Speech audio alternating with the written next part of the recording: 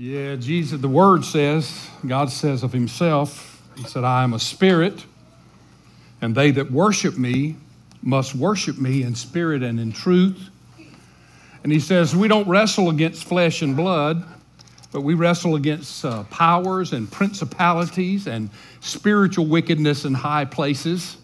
So therefore, put on the whole armor of God that we might be willing, might be able to stand in the evil day. And having done all to stand, he said, have your head, uh, have the helmet of salvation, the breastplate of righteousness, have on the belt of truth, have your feet, feet covered or prepared with the preparation of the gospel. Take the shield of faith with which you'll quench all the fiery darts of the wicked one. And above all else, take the word of God and incorporate it, he said, by by prayer and supplication and rejoicing and making melody in your heart to the Lord. That's the kind of battles we face because our enemies are not flesh and blood. Look at your neighbor and say, You're not my enemy. You're not my enemy. Now, we live in a day where the enemy is trying to convince us that we are each other's enemies and that it's you against me it's my philosophy against your philosophy, my theology against your theology, my politics against your politics, and that we really are in war with each other. That is a crafty enemy. That is a deceitful enemy. And that's why the scripture says that we need to put on the whole armor of God because there is, a, there is an evil day that comes. How many of you have ever experienced, you think, an evil day? I have. I think an evil day means that day when the devil stores up as, as much as he can, and it just seems like everything begins to pour out one thing right after. You don't even get over one before another one hits, and another one hits, and another. And by the end of the day, you're all wrung out and torn up, and your peace is gone, your faith is gone, the victory of your life is gone, and you're probably sitting somewhere saying, Where's Jesus? You know. Well, that's the armor of God. And, and He gives us to, these, these weapons to fight with. And, and I'm not, I'm not going to, I don't want to really preach the song, but, but that's just such a good truth because one of the lines in it, it says, My weapon is a melody. My weapon is a melody, a praise, a, a rejoice, a shout to God, a, an adoration, a worship. That's my weapon. And that's how I put it into practice. That's right. That's right. Singing and making melody. I mean, uh, Book of Philippians says that we're all to come together, and then it lists a bunch of things, and it says, "and singing and making melody to the Lord in your hearts." It is. It's a, it's a, it's a battle. It's a weapon. I've been share. I started last week sharing uh, out of the life of David, King David, many people's favorite Bible character you know a lot about David. There's a lot written in the scripture about David. And I, I am not going to cover everything in his whole life, but just kind of the part that leads up to his confrontation with Goliath and all of those kind of things, because I believe in, in just those uh, three or four short chapters that uh, there's, there's some great information about, uh, about the edge that God gives us in life. How many of you believe that because the Holy Spirit lives inside of you, uh, you have somewhat of an edge in life? Yeah. I mean, the Holy Spirit empowers us, He anoints us. We learned last week and we looked last week at David as a boy and Samuel, God sending Samuel down to David's house and to, to, to anoint, or Jesse's house, to anoint one of, the, one of the sons of Jesse. And all seven sons come out, and Samuel's really impressed with them. They're great looking guys, they're tall, they're handsome. I mean, they're, they're virile, they're great men of God, and Samuel's thinking, surely one of these guys has to be God's chosen. And as he goes through all seven, the Lord never touches the old prophet's heart. The Lord never says, This is my man. As a matter of fact, God says, This is not the one I have chosen. And finally, Samuel, after all seven have come forth, he looks at Jesse and says, uh, Is this all you got? Uh, you got any more? He said, Well, yeah. Well, we have one. Uh, we have one more, but um, he's kind of a, musical dingbat, uh, you know, he got him out there with the sheep. Uh, by the way, David was the, the youngest son. Uh, he was the youngest boy. And uh, yeah, little guy, little guy. He's the little guy. So he gets, he, gets to, he gets to stay out there with the sheep and take care of the sheep. And Samuel said, Well, go get him. And, and we're not going to sit down until you get back with him. And so the one that was uh, neglected and forgotten and overlooked, he was so singularly unimpressive that they just didn't even think about inviting him to the ceremony. And they said, Go get him. And now the one that has been left out and forgotten about and disrespected and dishonored is now brought in while everybody else stands until he's brought in. And when he comes in, God said, That's my man. Anoint him. This is the one. And so God anointed David for a purpose. And of course, this is an Old Testament anointing. And in the Old Testament, uh, oil was used and they poured a, a, horn of oil over down your head and it ran all down. It, was, uh, it wasn't like a little drop, it was a lot and it just ran all down. And that symbolized that this person had been set aside by God, given favor by God. And by favor, I'm not talking about favors like God's going to do everything for you and you just put your feet up and let God handle everything like God does a bunch of favors. No, I'm talking about favor, singular, which means that you have God. God has uh, uh, empowered you. God has uh, uh, uh placed something in you. God has uh, has strengthened you. God has qualified you and empowered you to go for a purpose. Now, we learn that in the New Testament, when Christ comes to live on the inside of our heart, according to John 14, for one place, and many others, but the Holy Spirit is the anointer of the, of the, of the body and the heart of, of the saint of God. That it's the Holy Spirit Himself that comes and lives on the inside of you.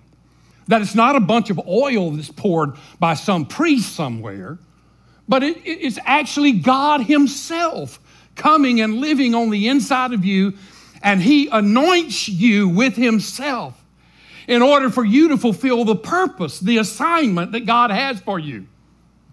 Are you aware that God has an assignment for you? Are you aware that that assignment may be right before you? It may be years away. It may be more than one assignment, but that the ultimate purpose is that your life would be lived in accordance with what God saw when He created you. For His glory. And that we all have a purpose and we have an assignment, and God anoints us to be able to accomplish this assignment. And, and, the, and the first edge He gave us last week was this anointing and you, you might remember just a few thoughts out of it. Just because I'm not visible doesn't mean I'm not valuable. Another one was just because God gives me a greater anointing doesn't mean He's going to change my assignment.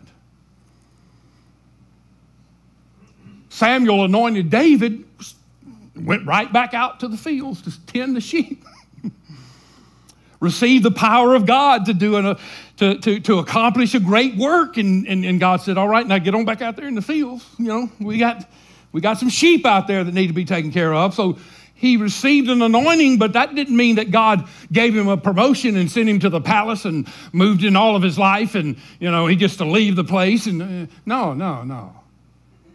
Many times God anoints us and leaves us right where we are because we've got to grow, we got to learn. And, and, and, and then the last little thought was, you know, I, I don't have anything to prove to anybody. And I only have one person to please if we want to go, call God a person. I have no one, uh, I have no reason to try to keep uh, trying out for the part because God's already given me the part.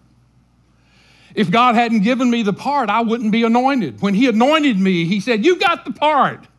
So you don't have to keep trying out for it. In other words, You don't have to try to keep living life to make yourself bigger and better. Like somehow you're in competition with, with others or maybe even yourself to try to become something greater and to perform better every time. Every sermon has to be better than the one before. If people laugh, they gotta, they gotta laugh more the next time. Or if they cry, they gotta cry more. Or my music be uh, passionate uh, in our lives. And we live life that way if we're not careful, really trying to just prove something to somebody, I guess. And it makes life a drudgery. God does not intend for our lives to be a drudgery. So we don't have to keep on trying to prove something. And God is the only one that we have to please. And so we have an anointing, okay? We have an anointing, and and and and and so what now? God's anointed us. Now what? Well, um, God expects me to grow my gift so that this gift that He placed inside of me can become usable. If, uh, if you're not dead, you're not done, so to speak. If you still have a pulse, you know, you still have a purpose. If you're still here, it means that God still has some work for you to do. And so let's pick up, let's pick up with this first verse. This was from last week, just kind of get, get us going in there again. So Samuel took the horn of oil and anointed him in the presence of his brothers. And from that day on, the Spirit of the Lord came powerfully upon David. And Saul went to Ramah. So here's David back to the sheep, no assignment change. Got anointed. God said, back out there. David's palace was a pasture, you know. God said, I got to do something out in these fields to teach you how to lead sheep because if you can't lead sheep, you certainly can't lead people. now. now, the thing that's about to happen is Saul's about to be impeached by God. There's not going to be a press conference and there's not going to be any Senate hearings. There's not going to be any pomp and circumstance about it. I'm going to tell you something. When God says you are gone, you are gone. That's it, that's it. And God says Saul has gone as far as he can, verse 14.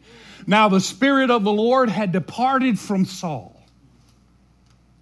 God removed his spirit. And an evil spirit from the Lord tormented him. That's an interesting phrase, isn't it? I know that you're, you're probably saying, what in the world could that be? Because, I mean, the Lord can give an evil spirit. Well, I'm sure that any member of our praise team will be glad to explain that to you at, right after church today. So you just ask any of them. they'll, they'll help you with that. No, here it is, really. Uh, most theologians, theologians and scholars say that a better translation of this would be uh, God allowed an evil spirit to run its course. In other words, God didn't stop the evil spirit from running through Saul. As a matter of fact, here's another. Uh, uh, there's another place in your Bible that really does the same, talks the same way. It's in the book of uh, Exodus when when Moses is confronting Pharaoh about letting the people go, and every time Moses does something and he he kind of gets a little shaky. Uh, you know, it's like, okay, is he going to let them go? And then he does another one. And by the time he gets to the ninth one, the ninth one, the next one will be the dying of death of the firstborn that will spring them out of there. But when he gets to that ninth one, there's a very unusual line in there. It said, and Moses was talking to Pharaoh and said, God said, let my people go. And, and then it says, and God hardened Pharaoh's heart. What does that mean? Well, it just means God removed himself from Pharaoh, and Pharaoh became what Pharaoh was determined to become. And so, this evil spirit from the Lord was uh, uh, this, this evil that Saul had introduced into his life that God was keeping beat back off of him. I mean, Saul had already been dabbling in sorcery and, and, uh, and, and mysticism and paranoia. And so God just steps back and uh, lets this stuff begin to just flow through. He pulls that covering back. I mean, the devil doesn't do things to us. I know I've said this to you before, and I don't know whether you believe me or not, but the devil doesn't do things to us. The devil just convinces us to do things to ourselves. I mean, the devil can't touch me. The devil can't put his hands on me. The devil can't pull me down and tear me up. If he could, he would. And he'd do the same thing to you because he hates us. It's his mission in life to destroy us. But God won't allow that to happen. So all the devil can do is influence us as much as possible to, to not walk close to God, to keep us distracted, to send us in another direction, or to make life uncomfortable and for us to make, make poor choices. Because I submit to you, the devil doesn't have to tear us up because we do a pretty good job at sabotaging our own life anyway. And here was Saul already dealing in mysticism and paranoia and, and, and, and the occult and all, uh, had been to a medium and a sorcery. And uh, I mean, Saul was doing a pretty good job at destroying himself. And the Spirit of God departed from Saul, and an evil spirit from the Lord tormented him. So they had a staff meeting. Saul's staff met with him. Saul's attendant said to him, See, an evil spirit from God is tormenting you. Now, Saul has always been a little edgy. I mean, he, he, Saul's always kind of been living right on the edge, but now he's really losing it. And his staff sees that he's losing it, and so they come to him and say, Saul, you're losing it. Well, we got, we got to do something about this. And then they said, Let our Lord command his servants here to search for someone who can play the lyre. Now, it's kind of like, all right, uh, Saul, we need to do a job search. And, and, what, and what we're going to be looking for is we're going to be looking for somebody that can play a harp. A lyre is a harp. A lyre is a small harp. You know, you've seen these big, majestic, beautiful ones, you know. But a lyre is like a portable one. It, it's a small one. It's about 20, 24 inches tall, and it, you know, and you play it like a harp, but, it, but it's just a smaller one. And so uh, uh, he said, all right, what we need is, what we need is we got to have somebody uh, who can who can who can play a harp and and and and then whenever you when this evil spirit from God comes on you, um, uh, and you'll he'll play it and and you'll feel better when, once he does that. Now, who are they talking about when they're when they come to Saul and say, "We need somebody that can play the harp really good"? Well, we know who they're talking about because we know what happens. They don't know they're talking about David, but we know they're talking about David.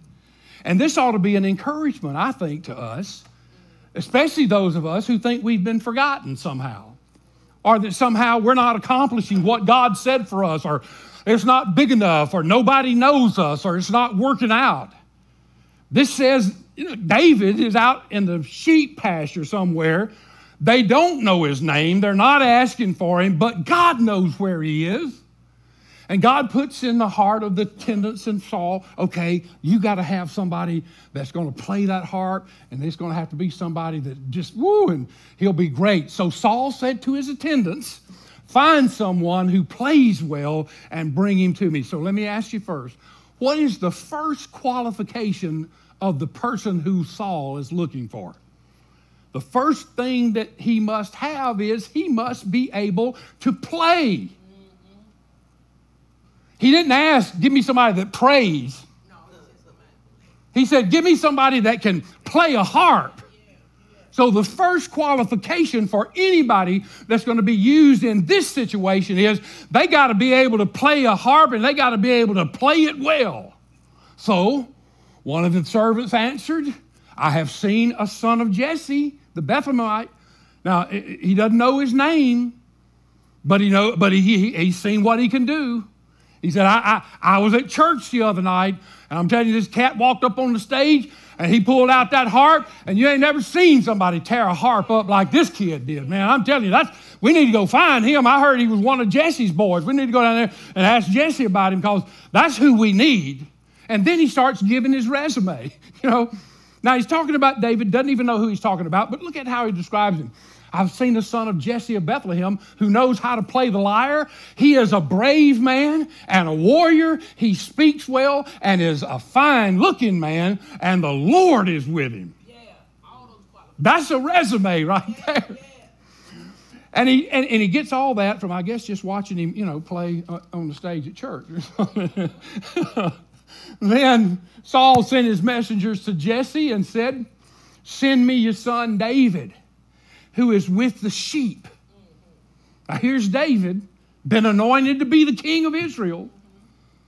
It's only a matter of time he's going to sit on the throne of Israel. Samuel's already anointed him. God's already said, This is my man. But he's out in the field doing some little lowly assignment. Yeah. Some little, some little insignificant something.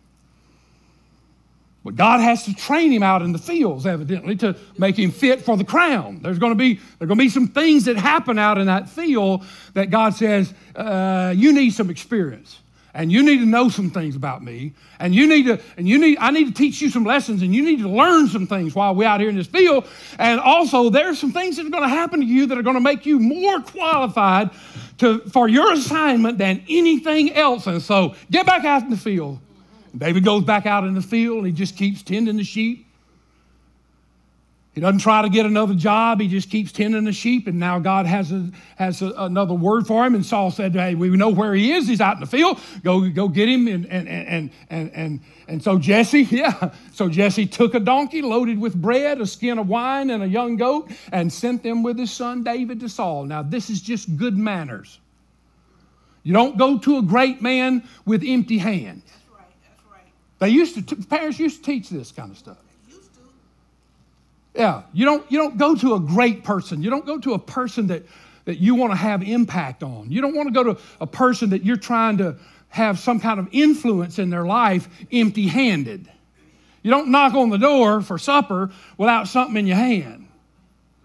And so he sends him to him and sends David in, and David and uh, David came to Saul and entered his service, and Saul liked him very much, and David became one of his armor bearers. Now, if any of you know the sto- rest of the story, you're probably, you're probably chuckling a little bit by right now because this really is kind of humorous if you know the rest of the story. Because here we are in chapter 16, and David pleases Saul very much. Saul likes the boy, and he's happy about it. By chapter 19, Saul's going to be throwing javelins at David trying to kill him. Yeah. Then Saul sent word to Jesse saying, Allow David to remain in my service, for I am pleased with him. Whenever the Spirit from God came on Saul, David would take up his lyre and play his harp, and just play, then relief would come to Saul. He would feel better, and the evil spirit would, would, would leave him. So, where's Goliath? That, that's the assignment, isn't it? I mean, where's Goliath? Well, he's about three years away. He's over in chapter 17, about three years from now. So, what's the scripture doing? The scripture's showing us what goes into the making of a man of God. Yeah, yeah. The glory behind the story. Yeah, yeah, yeah. The, the grind before the before the performance because I want to tell you something. Every gift has a grind. Every gift has a, a, a learning phase. Every gift has a has a has a has a period that you put it together. I, I'm, every gift from God should come with a with a label that says some assembly required. Because even though God gives these gifts, they we have to grow these gifts. We have to, we have to mature these, grip, these gifts. And so, even though God has deposited a gift in you, that gift is not going to come out if it's not developed. So, four truths about growing your gift. You're gifted. You're gifted. You belong to Jesus, right? The Holy Spirit lives inside of you. Then you're gifted. Look at your neighbor and say, I'm gifted. Mm-hmm. Do you know what they are? Maybe not. Probably not. Some of you do. Yeah, we got a class for you, brother. Some of you do. I guarantee you're probably sitting by somebody that can tell you what they are because they've been through the class. But it's not, uh, you know, that's not my message today. But the, the point is that you do have a gift and it has to be grown. And there are four truths in this passage about what it takes to grow the gift that God has anointed you with. All right, number one, truth number one my gifts and talents grow through the process of diligence. My gifts and my talents grow through a process. And that process, we're just going to call it diligence. Stick to activity. Hmm, another word. I made up that, I guess. I don't know. Stick to activity. Man, you got to got to stick to it. Got to hang on. I also say grab a knot and hang on a lot of time. Diligence. That's what that is. Diligence. Yeah. Uh, he, here's what Paul said to his young preacher boy, Timothy. He said, uh, Hold fast the pattern of sound words which you have heard from me in faith and love which are in Christ Jesus. Look at this. That good thing which was committed to you, that good thing that we both got from the Lord. So, whether he's talking about salvation or whether he's talking about giftings or whether he's talking about anointings or whether he's talking about abilities or talents, that good thing, Paul says, hey, Timothy, that good thing that God put in us, keep by the Holy Spirit who dwells in us. So, in other words, God places something in us, and it's our responsibility to, to, to commit to this thing, to grow this thing, to invest in this thing, and to use it like, like, like God says so that it can develop to be used in our life. Because the truth is, it's really easy to get sidetracked in the walk of God because there are so many talented and gifted people around you that seemingly can do things much better than you can do. And it's easy to look at them and say, you know what I want? I want to be, I want to be gifted just like that. Or I wish I could sing like that, or I wish I could play like that, or I wish, man, I just had the spirit of that person right there. That, and we get all distracted wanting somebody else's gifts and talent. The, the, the old adage, uh, opposites attract? They do. You know why? Because most of us see in other things, in other people, things that aren't like us, and we admire things that are not like us.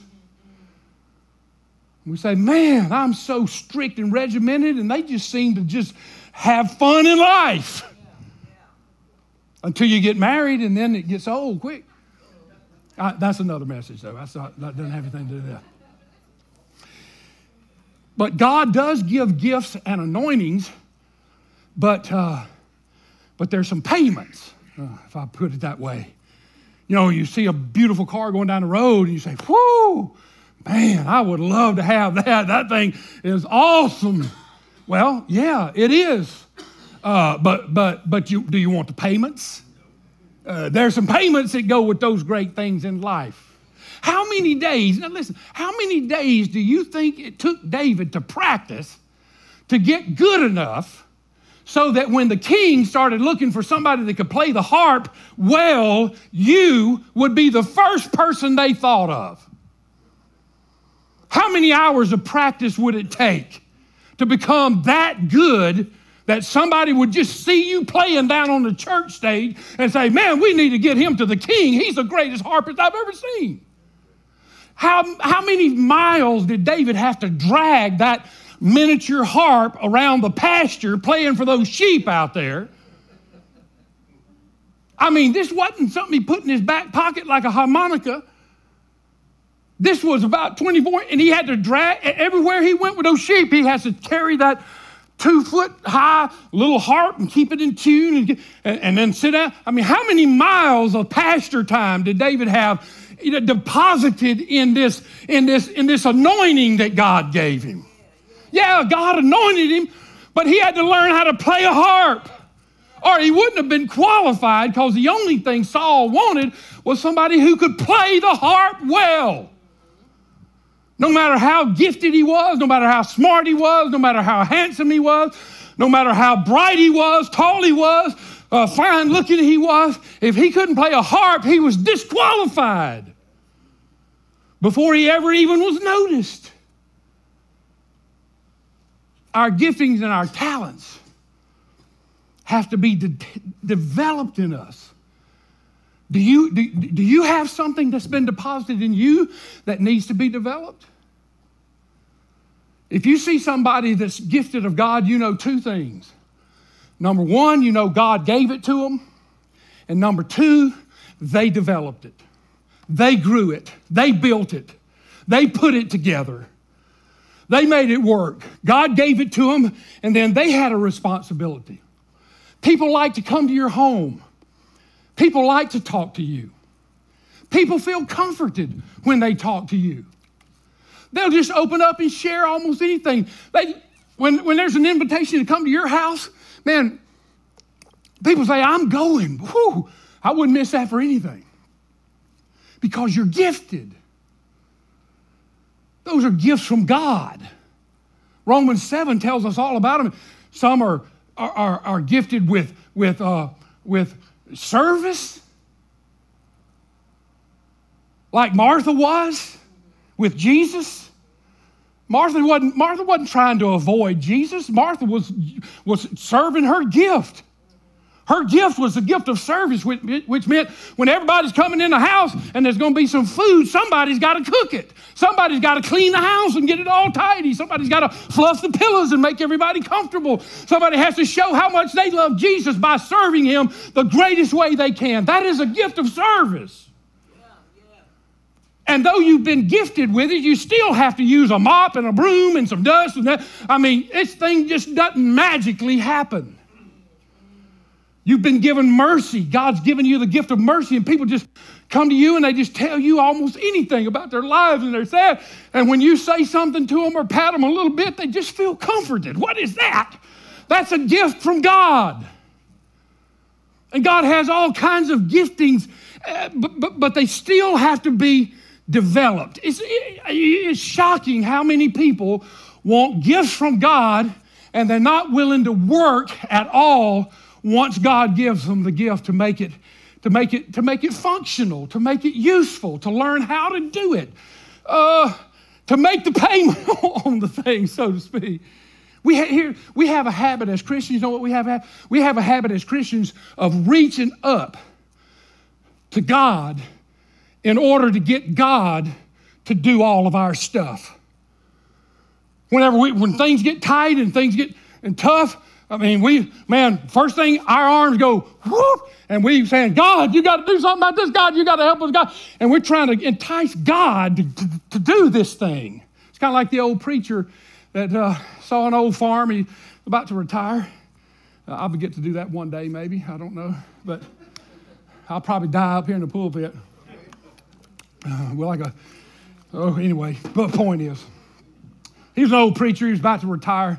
He saw an old farm the old farm was ragged as could be. It had gopher holes and tumbleweed, and half the wood was rot- rotten, and the tin was blown off the roof, and it was just nasty. And he bought the place. He said, Well, you know, it'll be a few years before I retire. So he spends all of his weekends, every weekend, he spends at this, at this, at this old retirement place fixing it up. And after about three years or so, he finally gets it where it's not an embarrassment to just look at it. And he's walking down to the mailbox and his neighbor happens to come by. And his neighbor said, Whoo, preacher, man, you and God got that place looking good. And the preacher said, Yeah, it's been a lot of hard work, but you should have seen it when God had it by himself. I mean, yeah, yeah, me and God. Yeah, a lot of work involved in that stuff. God gives you a gift but then you must develop it. God expects you to grow that gift. I mean, notice in, in verse 16, Saul needs somebody who can play, not somebody who can pray. And, and in the list of his resume, and I'm not trying to make fun of this, so don't get mad at me for saying this, but in the, in the, in the list of his resume that is given, you know, he's, a, he's brave, he's a warrior, uh, he's a fine looking man, he's good with people. And then the last thing on that list was what? and, and the Lord is with him. And the Lord is with him. In other words, that was the that was the well also kind of little comment about him. That was the last thing said about him. What put him in place to, to, to be used in his assignment. What was his assignment? His assignment was you're going to be the king of Israel. That's the assignment. But in order to be the king of Israel, we got to get you some places along the way first. So the first thing we need to do is we need to get you in the palace So you can get your feet on the ground in the palace, and you can get to know people in the palace, and they can get to know you, and you can get to know Saul, because one day you're going to have to come to Saul and ask him a hard thing. And if you don't have access to him, you're not even going to be able to do the one thing that's going to put you in the national uh, hero fashion so the people will elect you as king. You see what I'm saying? Diligence. Work it. Quit reaching up like God's going to do it all. God has deposited a gift deep inside of you. So when the times get tough, dig deep, is what I'm saying.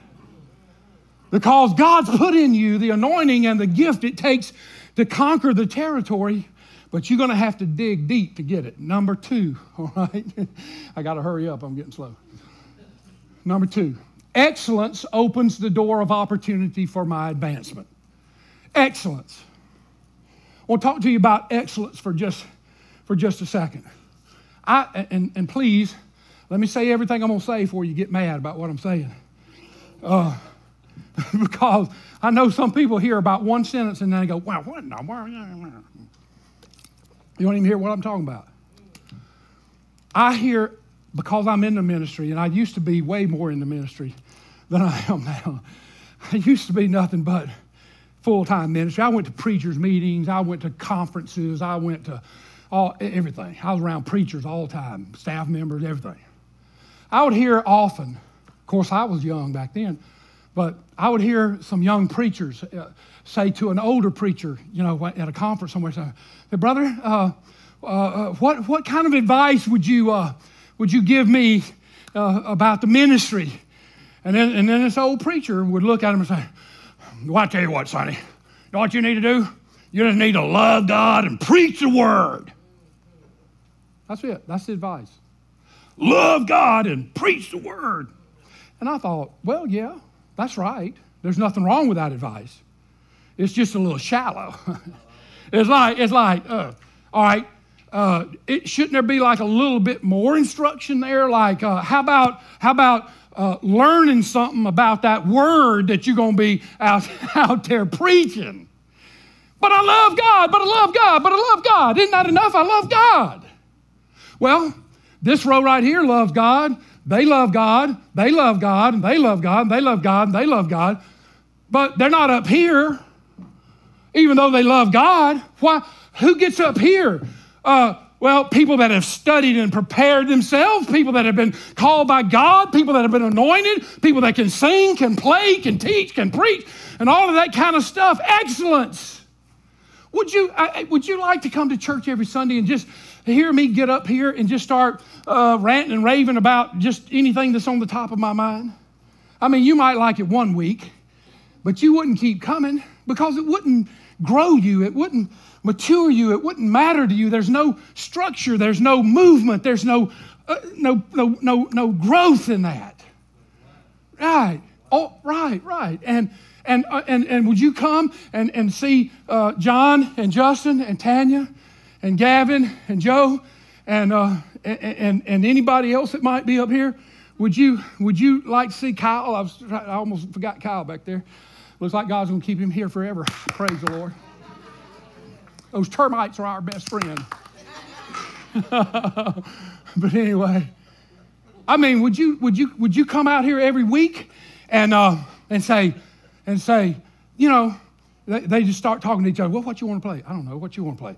Well, what about this? No, no, no, no, I don't like that. What about no, no, no, oh no. Oh, can you get any kind of a and and for about 35 minutes, that's what you hear. Would you like to do that? No, we wouldn't like to do that. We, like, we love them because they are excellent, because they give it everything they have. They work, they practice, they toil, they labor, they pray, they seek God. They do everything they can to be excellent in everything they do. Well, I just think that it's important that you want to do right. Well, I do too, but how about let's do right and be excellent on top of that? Nobody's perfect. No, nobody's perfect. And I'm not talking about perfectionism. Perfectionism is that prideful spirit in you that says, I want to be the best. I'm talking about excellence. Excellence is that godly spirit in you that says, I want to give God my best. And when I talk about excellence, I'm talking about giving my best to God, working on it, preparing, strengthening myself, uh, studying, uh, living, toiling, working, moving to, to make the gift that I give to God the most excellent thing that I can give. Doesn't He deserve the most excellent thing we could give? God is excellent. God likes good stuff. And, and He gives us the best. Have you, I know the sun hadn't been out in a while, but have you seen a sunrise? How did He do on it? Hey, have you seen uh, some of these sunsets that are so gorgeous? How did God do on that? God is the greatest. He gives us the excellence. In, in Psalms it says, uh, "Oh Lord, how oh Lord, how excellent is your name in all the earth." And so it is excellence that pushes us forward to reflect the excellence of God. I'm going to tell you, if, if, if the Spirit of God is living on the inside of you, excellence is going to be coming out of you. All right, here's the third one. Recognizing my uniqueness reveals God's guidance of my purpose. Uh, I know that sounds like double talk, but let me show you what I mean real quick. Recognizing my uniqueness. Look at the person next to you and say, You're weird. That's another word. That's another word for unique. Unique's a sweeter word, but you look at them and say, You're weird. Yeah, we, well, we are weird because we all are unique. We all have things about our life that others don't have, or maybe they don't even understand. And they're almost like contradictions in our own life. We're, we're really all walking contradictions, is what we really are. I mean, one thing in spite of something else. I mean, it, it just, we have, we just have these things, these idiocentricities about our life, these unusual features about our life. And I'm just saying to you that it is at the intersection of these unusual features where you find direction for what God's purpose for your life is. How He built you, what He used, and what He gave you to use. What kind of tools did He give you to work with? You got a hammer and some nails? Well, you might be a carpenter. You got a, you got a trowel and some mortar? Well, you're not a carpenter, you're a brick mason. Well, you know, you got some sheetrock and you got some, uh, some mud. I mean, man, now you're, now you're drywall. Uh, God builds us in unique ways, and it is at, in these uniquenesses that we see our purpose. Let me show you about David. In verse 18, look at it. In verse 18, one of the servants answered, we've already seen the verse, but I want you to see what I'm talking about here. One of the servants answered, I have seen a son of Jesse of Bethlehem who knows how to play the lyre, the harp. He is a brave man and a warrior. Now, think about that. Think about that. Uh, harpist, uh, war- warrior, harpist, and, and warrior. When you were growing up and, going through classes in school, you, they'd give you these little work papers, and it would have like four or five things on there, and it would say, uh, uh which one of these is not like the others? All right, we got, we got, we got, all right, he's a, he's a brave man and he's a warrior and he speaks well and he's good looking and God's with him. Oh, and he plays a harp. A warrior and a harpist? When you watch MMA or WCW, and you see those guys coming out to that that cage or whatever it is they're going to be in. And you're looking at those guys, and those guys look like Greek gods. I mean, they're pumped, their muscles are big, they're burly, they got hair on their back and all. They just, this big, nasty looking somebody. And you're looking at them, and I know you're probably thinking, you're probably thinking, man, I'm glad that sucker's on TV. I'm glad he's not here in this living room. Because that's a mean looking joker right there. I'd hate to meet him in a dark alley oh, you know, I, I might have to shoot him. I don't think I can take him, you know. Oh, and then, and then one, of, one of them on the couch said, hey, and he plays a really nice harp too. Somehow those just don't seem to go together, do they? A harpist and a warrior? It's kind of like a, a contradiction of a delicate, you know, beautiful, and a warrior is, you know, tough and strong. And eh. well, David needed both of these features exactly to get where he's going, to, to match his assignment. David, to get to, to his purpose, he had to be both a harpist and a warrior. Because being a harpist gave him access to Saul, the king. Every night he played Saul to sleep. He just played his harp and Saul just. Here is the future king of Israel that's going to take Saul's place, sitting at the foot of Saul's bed every night, playing Saul to sleep. Saul didn't even know it. So he had to be a harpist in order to get access to the king. Now, to show you how important that was, when we're talking about this battle with Goliath a few years from now, uh, Goliath's going to come down there and taunt Israel, and, and, and, uh, and nobody's going, and David's going to run back to the palace and said, Man, I saw that uncircumcised. He said, Let me, and he, and he runs in there to Saul, the king. He runs into the king. Get this. The, David runs in there to the king. Nobody stops him. And he says, Saul, he said, Would you please give me permission to fight Goliath? And Saul says, Well, here, try this armor on. And, you know, he probably puts it on him like a stovepipe, and David's hands don't even reach out of the holes. And, see, and he said, No, I can't do that. I got I, I got to use my stuff. And, and Saul says, All right, well, man, you know, Lord be with you, whatever. And, all right. But in order to get access to the king, he has to know the king. The king has to know him. He's been in his palace playing the whole time. So if he couldn't play a harp, he never would have had access to the king. But if he wasn't a warrior, Goliath would kill him. Because I'm going to tell you what, he's not going to play Goliath to sleep.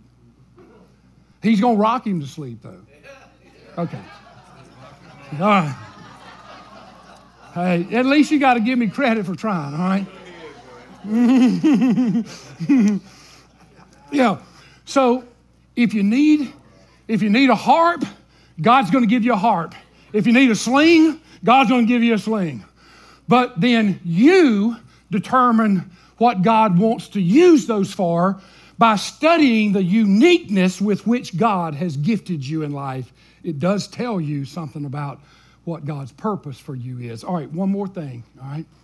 All right, one more thing, one more truth. Oh, wait a minute. Let me just say this. I put this up here so I wouldn't forget, and then I almost forgot. This is out of Psalm 139. This is David speaking. He says, I praise you because I am fearfully and wonderfully made. You've heard that, fearfully and wonderfully. There's a contradiction. Fear, fearfully, fearfully. Uh, fearfully means awesome, it means strange, it means uh, scary, it means unique, it means frightening, it means respectful, uh, yet wonderful.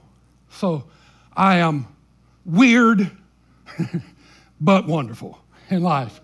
That's how God has made me. God has put it together. In other words, look at your neighbor and say, uh, You're custom tailored. Look, I say this to them You're not off the rack. That's what I mean. To custom, have any of you ever had any clothes custom tailored? Man, they're great. I've never had any, but I hear they're great. Um, but I just get all my stuff off the rack. So it's just got to kind of come close to fitting right, you know. God custom fits you. You are fearfully and yet wonderfully. Both. contradictions. Not off the rack. God made you that way. Yeah, that's you. Okay. All right. So my gifts grow through diligence. Uh, God deserves my best. I need to give him my excellence. Uh, follow this.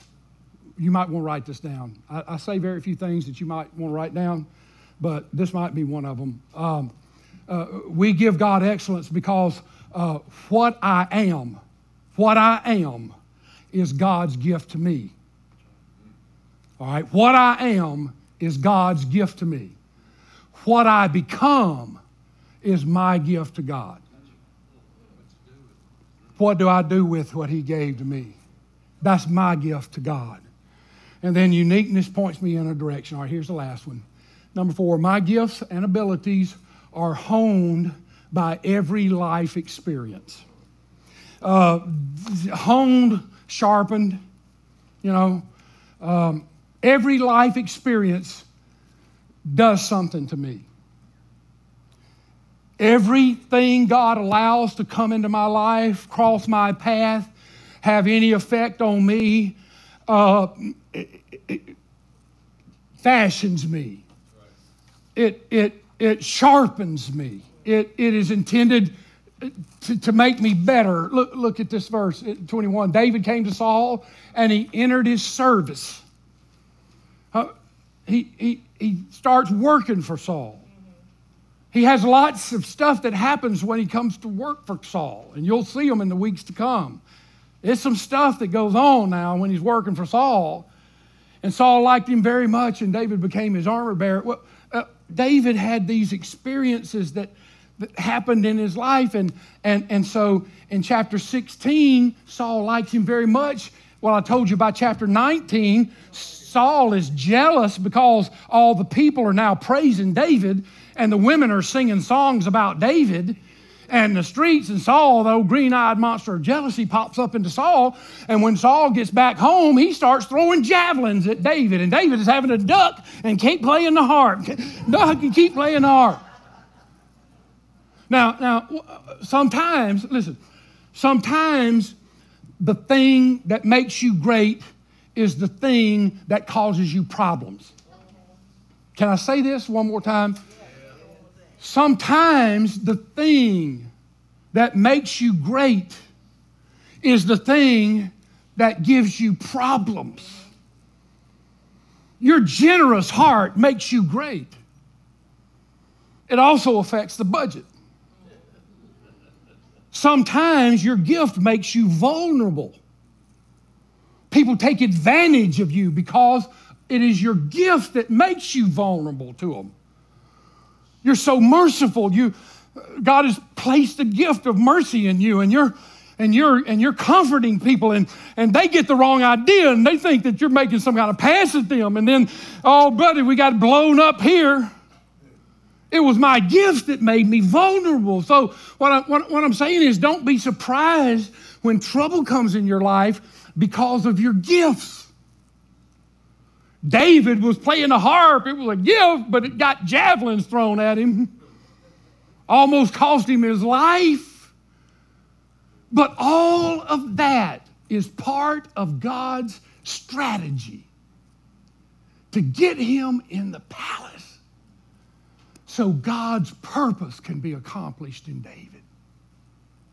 All of these experiences, the good ones and the bad ones, what is, the, what, what is our favorite verse in all the Bible? Romans 8 28.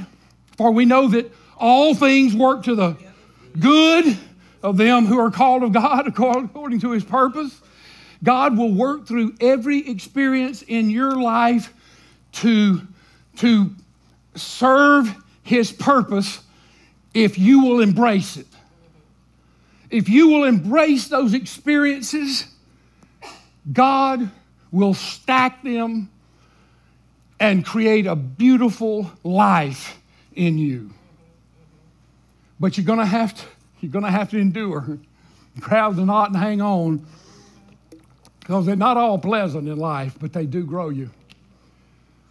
David's the last boy in the family. He's sent out to the, to the field to tend the sheep. David learns that uh, how to play the harp while he's in the field drags it around, playing it to his sheep everywhere. God sends Samuel down to Jesse's house and, and he, he looks at all the boys and none of them will do. And he calls David in out of the field and he anoints him. And then David is anointed by God to be king. And then he's sent right back out in the field where he experiences a bear trying to get his flock and a lion trying to get his flock and he, he kills a lion and he kills a bear. And then one day his dad sends him out to, the, to check on his brothers, how they're doing out in the war. And he's there, and here comes Goliath coming down out of the hills with his little person in front of him leading. And he stops and he says, Send me down the land that we can fight, and if I beat him, you'll serve us. If he beats me, we'll serve you. You bunch of living, little living coward chicken, yellow belly sapsuckers. That's as bad as you get. And then David says, Who is this uncircumcised Philistine that he would insult God like that? I killed, I killed a bear and I killed a lion. This man ain't nothing to me. Stacks. Experience. All the experiences. And all things work together for good. So God's given us an edge. He's anointed us. That means He's gifted us. But He expects us to work on that gift, to grow that gift, to prepare that gift, to get ready to use that gift so that when God calls us to the battle, our gift is ready. All right, all right, let's just stand our feet right there.